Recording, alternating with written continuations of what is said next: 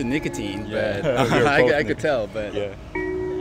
if I wanted to quit vaping, I guess I could. But I, I really don't want to give up. Like, No? yeah, why, why not? I mean, there's there's no reason to give up though.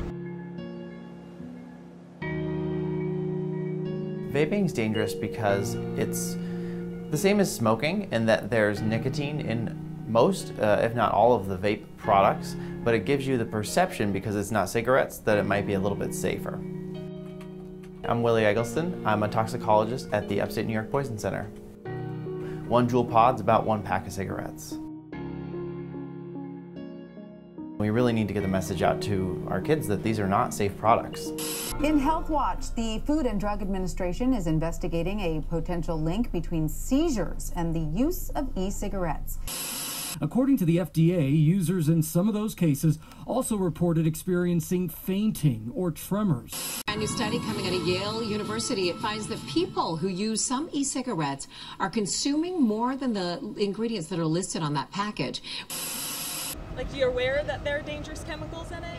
I mean, I do, I do, but the actual component of the juice that we're vaping is is PG and VG and nicotine. So actually, if you if you think about the ingredients, like the safety of the ingredients, it's it's really not that dangerous. I think it tastes tastes better. One in five high school students now reports vaping, and one in 20 middle school students has reported vaping. There's harmful chemicals, there's nicotine, they're addictive, and they can impact brain development. The new Juul devices and other similar products look like USB sticks, so the kind of thing you would stick into your computer to save a paper or save a file on, but these small USB shaped ones are pretty small and easy to hide.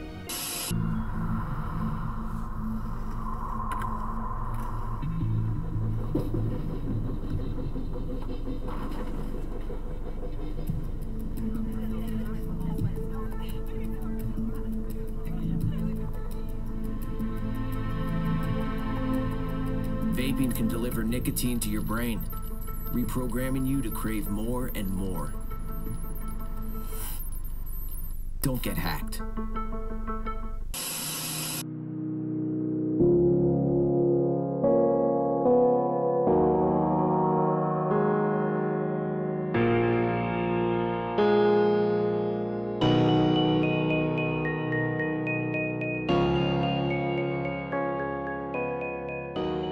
Is it expensive?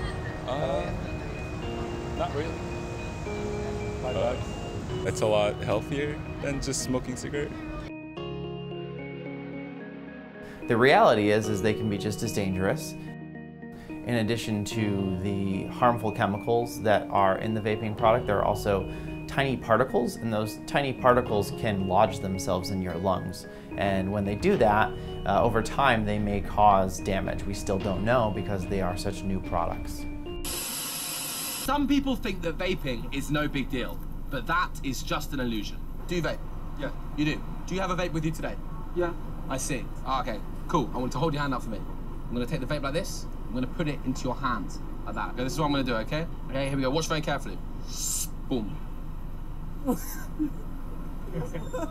Did you know that if you vape, you're more likely to start smoking cigarettes? It's not magic. It's statistics. Yeah, I don't want to do that. And so at the end of the day, is vaping safe? Only for someone who's currently smoking. If you're not currently smoking, vaping is not a safe thing to start. I really don't want them to smoke at all, like start smoking at all.